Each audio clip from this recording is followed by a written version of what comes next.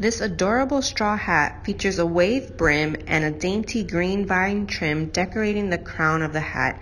It measures 15 and a half inches in circumference and is made from paper.